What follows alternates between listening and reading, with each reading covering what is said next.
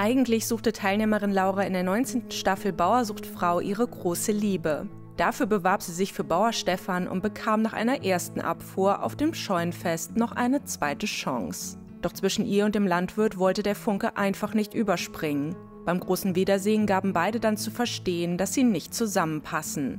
Doch nach der Liebespleite im TV lernte die blonde Laura einen neuen Mann kennen und verliebte sich.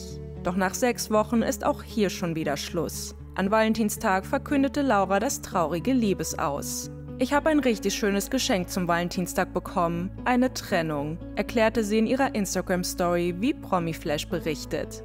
Außerdem riet sie ihren Followern stets auf ihr Bauchgefühl zu hören. Aktuell überwiege bei ihr die Wut. Allerdings schließt sie nicht aus, dass früher oder später der Trennungsschmerz in den Vordergrund rückt.